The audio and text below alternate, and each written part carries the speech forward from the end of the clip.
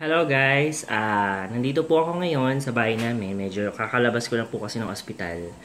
So, ang findings po sa akin ng, ng doktor, meron daw po akong complicated UTI.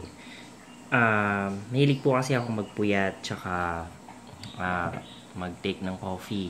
Every day, hindi yan nawawala sa akin. So, nag-research ako bukod dun sa mga recommendation sa akin ng doktor. Hindi naman ako umiinom.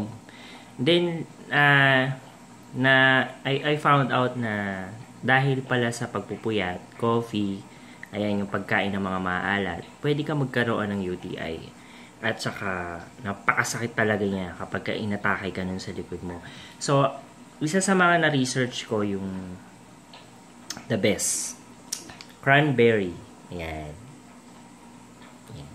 So, yung cranberry po, guys, ah, mabibili siya sa mga supermarket uh, meron to sa Landmark. I don't know kung meron sa SM uh, Hypermarket. Pero ano kasi siya eh. Medyo may kamahalan lang ng konti. Pero ano siya, dito ako gumaling. As in, wala pang isang buwan. Kaya pala siya mabenta. Sa mga nasa 300 yung ano niya, yung kanyang, uh, eto, uh, 1.4 liter. Yan, yan. Ito po siya. Yan. Pure po siya, cranberry uh, 120% vitamin C. Apple siya na may kasama na rin. Tapos wala po siyang sugar. So lagi ko po siyang iniinom every day, uh, especially in the morning. Yan.